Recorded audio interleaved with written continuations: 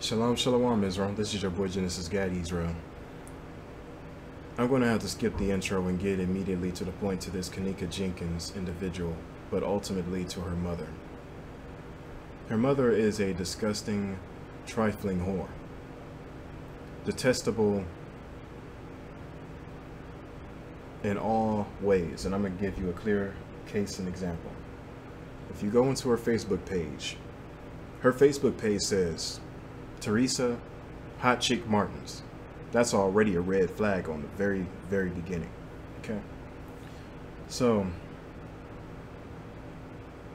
I was mentioned to someone recently that she had a du double mastectomy. She had both her breasts removed because she had, I guess, cancer or whatever the hell she had, tumors or whatever the case was. Okay, I can go with that. Why are you still dressing up as a slut? You're also a mother of multiple children on top of that. Our women, our women really do know how to open their legs whenever they want to, to make more children. Always want to wonder why they have so many children and why their pockets are always flat. They want to know also why does men never want to marry them because they don't. They don't see any value in you. You don't even see value in your damn self. So I'll tell you this much. I'm going to go into the book of Genesis 3. Right quick. I'm going to get 3 and 3. Genesis 3 and 3. But of the fruit of the tree which is in the midst of the garden, God has said, Ye shall not eat of it, neither shall ye touch it, lest ye die. Now, whenever I read about the serpent, this is a clear case in point example that the serpent was not a talking snake. So there was no bestiality going on and the woman had sex with that serpent and then a damn half man half lizard was given a the freak. I don't know what these christians are teaching. That's the reason why you stay away from them because ultimately they have their own agenda. But that's not the point of this video. The point of this video is to show you how conniving deceiving and backstabbing the so-called black, native, and Hispanic woman is. Women are in general, but this is how, you know, the woman, the so-called black, native, or Hispanic woman had a literal, a literal instruction to keep given unto her by the Heavenly Father that she went against because she wanted to, I'll just, I don't want to spoil it, but I just want to show you, case in point. And verse 4 of Genesis 3 And the serpent said unto the woman, Ye shall not surely die. Verse 5 And God doth know that in a day ye eat thereof, then your eyes shall be opened, and ye shall be as gods, excuse me, gods, knowing good and evil. And this is verse 6 and when the woman saw that the tree was good for food, and that it was pleasant to the eyes, and a tree to be desired to make one wise, she took of the fruit thereof, and did eat, and gave also unto her husband with her, and he did eat. To this day, what is forbidden fruit to be mentioned as? You should already know that it's a synonym mentioned for sex. Yeah. There is a club that's mentioned it's not really a club, it's a bar or a debauchery. And it's it's called Club Forbidden Fruit. It exists somewhere around here. In an undisclosed location in Ohio, which which I can never remember because I mean that's the reason why I'm calling it undisclosed.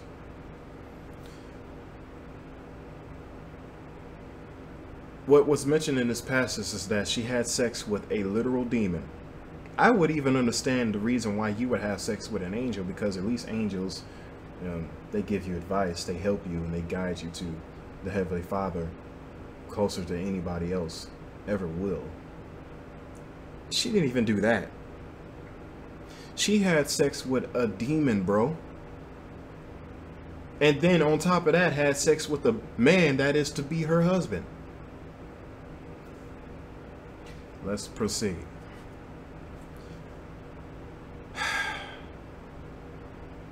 Genesis 3 and 7. and the eyes of them both were open. And they knew that they were naked. This isn't looking too good for you so-called black women right now. For a long time, you have usurped authority over your black man, and now we see why. Because he was, he was already pre-decided to be your heads. He was already pre-decided to be your leader, to be your lords. With the Most High Lord, the Most High King, and the Most High God being the Heavenly Father, Yahweh, in the Hebrew language, the Hebrew tongue, meaning He exists or He is here. The next time I see a so-called black woman arguing with her black man about how he's not doing anything, I'm going to intervene and call that woman a bitch. Know your fucking place. You have no part in saying what he is and what he should be doing. That is my job, excuse me, as well as the rest of my brothers into these camps to uplift that brother to be the king he is destined to be. That is not your job. You don't raise a goddamn man to be a man or king. Period.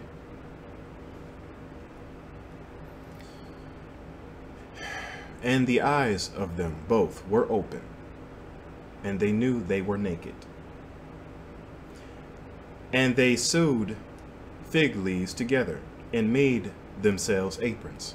Let's go to the book of Ezekiel, chapter 16. I'm going to read from the 21st verse. And I'm going to read down to 23. Now, the 21st verse says this That thou hast slain my children and, and delivered them to cause them to pass through the heat, uh, excuse me, through the fire for them. And verse 22 says, And in all of thine abominations and thy whoredoms. Let me read that again. And in all thine abominations and thy whoredoms.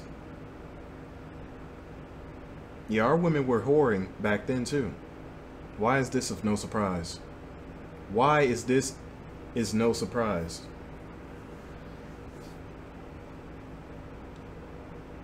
Thou hast not remembered the days of thy youth. Yeah. These were the days of thy youth, of our women's youth, that they were doing this. When thou was naked and bare, and was polluted in thy blood. He mentions what our women were doing again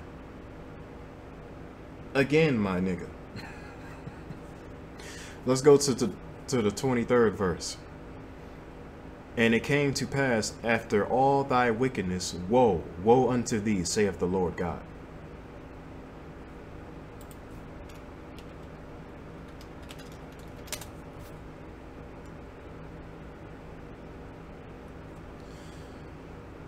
Now, Whenever you look at the Statue of Liberty of today, this is of a woman, not a man.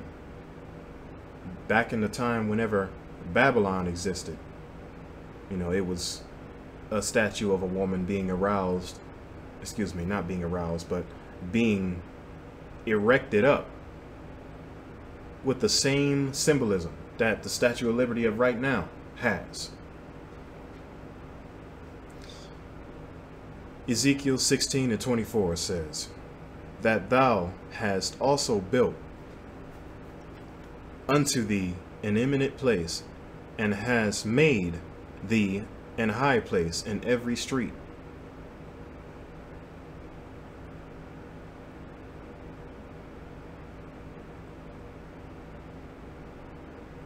Think for yourself, ladies and gentlemen. 25. Thou hast built thy high place at every head of the way, and hast made thy beauty to be abhorred, and hast opened thy feet to every one that passed by, and multiplied thy whoredoms.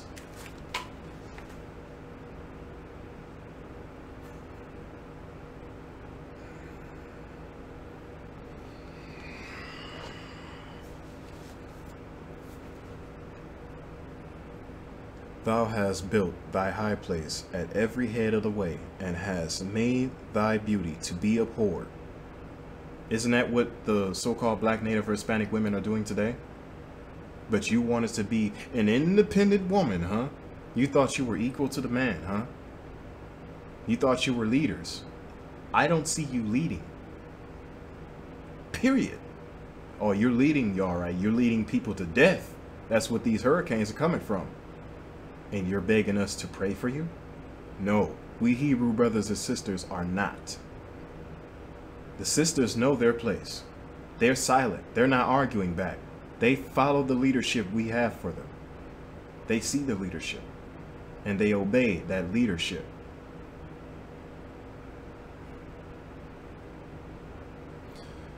Thou hast built thy place at every head of the way, and hast made thy beauty to be abhorred, and has opened thy feet to every one that passed by. open thy feet to everyone that passed by. To open your feet means to also open your legs. Yeah, that's what our women do. That's what Teresa Hot Chick Martin did to give birth to Kenneka Jenkins as well as those other children that she has as a photo up, up, up on her Facebook profile. You do find that highly strange though, right? Oh, also, according to the book of Deuteronomy, this is modern day Egypt. We would be sent to Egypt again with ships, whereof the Heavenly Father spake unto thee, meaning us, the Israelites, the so-called blacks, natives, and Hispanics. So I'm going to read that next verse, and that's going to really hit you hard. Let's go further. 26. Ezekiel 16 and 26. Thou hast committed fornication with the Egyptians, thy neighbors, great of flesh, and has increased thy whoredoms to provoke me to anger. Why do you think we are getting hit with 12 consecutive hurricanes, floods, tornadoes, cyclones, maelstroms, tempests, earthquakes, tropical storms, wildfires?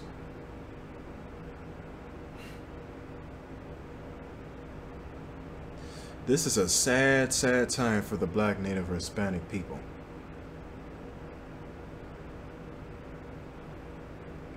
I'm thinking that it's really good to see our people have awakened up, have finally decided to embrace a little bit more of their Hebrew, their Hebrew warrior, uh, excuse me, royalty. Come to find out behind the scenes, the Heavenly Father sees what they're doing, and that's the reason why he sent hurricanes. He's like, wait a minute, you dare make a mockery of me? After I literally saw that you were repping Israel, you're still going to proceed to do whatever that you were commanded not to do. Okay. So the Heavenly Father decided this. I'm going to send pestilences. I'm going to send storms. I'm going to send earthquakes and things like that. But it's funny because those women in Texas got a nerve to ask us on social media networks for our prayers. We're not going to pray for you. I'm not even going to say sorry for what I said. No, I'm not going to pray for you. And we're, the rest of my Hebrew brothers and sisters, we're not going to pray for you. This is God's judgment, Yahweh's judgment. And if you proceed to do this, what makes you think, I mean, like, you're asking for prayers from us hoping that we would pray for your safety, for you to proceed to do the exact same thing that got your ass whooped the first time. See, the so-called black, native, or Hispanic women had influence to maintain, or excuse me, to have power and leadership over the so-called black man for a long time. That's the, another reason why I read this scripture back in Genesis 3, because she would know what good and evil means and what it is. So she can have is, is amount of the same amount of knowledge that the Heavenly Father has. And that she could be equal to the man that's, that's bound to be her husband. But she also proved her unloyalty by having sex with someone else other than her husband. And gave birth to the Cain seed. And she, I found already uh, how strange and peculiar it was that she was oblivious to how Cain killed another one of her sons. Did she say anything about it? Nah. She was like, oh, okay. That's cool.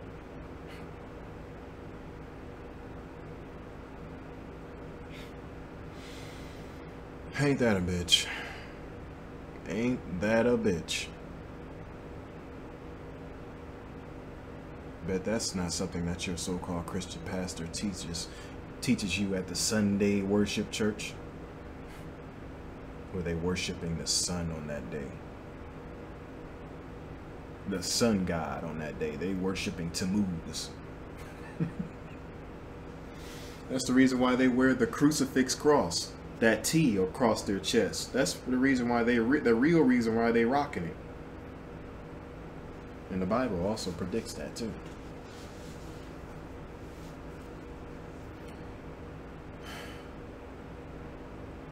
Our people have been shown how, excuse me, let me retract that sentence. My men, meaning my brothers, fathers, uncles, nephews, all of the black men, they had their power usurped by a woman at some point in time. Because going back to what I previously mentioned in the last video, a woman can literally get away with rape of anybody and get away with it in broad daylight. Let that marinate for a second. She can make it seem like she was raped, when in fact it was the other way around. She forced herself upon that someone else. She can go to her job and literally sexually harass her manager who just so happened to be a so-called black man just so she can get the benefits of one extra pay two also a spot in management three a higher spot than management four for him to discard the wife he already has for her so she can use him up dry him out for all the resources that so-called black man has so she can this drop him off and take his resources for herself. Our women are master manipulators, man. Plain and simple.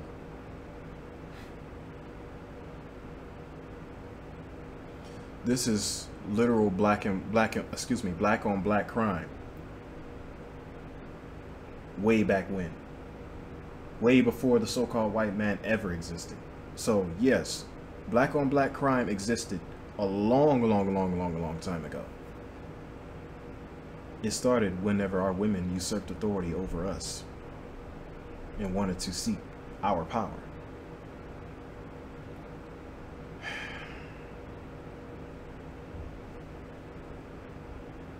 This is the reason why the Kemetic Egyptologist brothers and sisters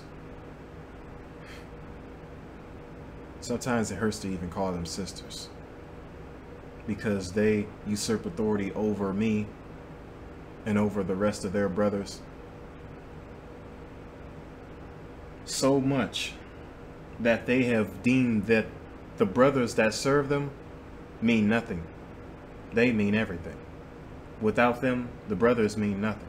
These are nothing more than just cattle. Black feminist movement. That's exactly what this Egyptology madness is. It's a black feminist movement.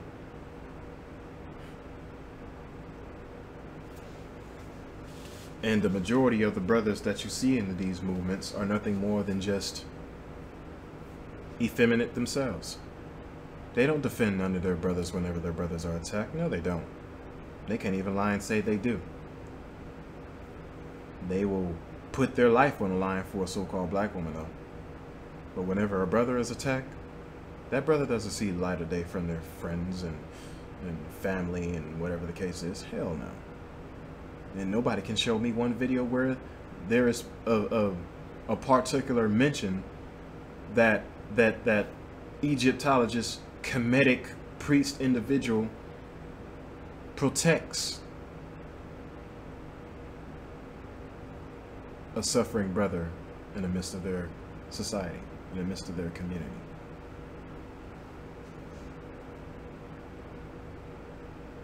They replaced the nigger mentality with the idolatrous mentality. They have idolized their own women to be higher than the Heavenly Father, who is a so-called black man. Ain't that a bitch? They hate their own selves so much that they esteem their mothers, their sisters, as gods, as they are not gods. So if they are gods, what's the point of the so-called black man? Why do we exist? Are we to be slaves under these women? If you find out the real intent of these Egyptologist heads, that's what their their narrative is. That's their shtick.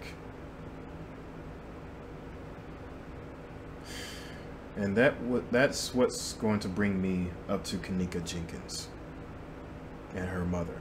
Her mother dresses up like a slut and dresses her daughter up like a slut. So both sluts, as disgusting as it is for me to say that, but it's not as disgusting as the people committing the sluttiness those ways of dressing was never applied to the so-called black woman in the early years of our enslavement, especially in the cotton fields. That was whenever we had the mentality to just survive, to dress in modesty because we would be ravaged if we didn't. But that's the black name native Hispanic woman in a nutshell today.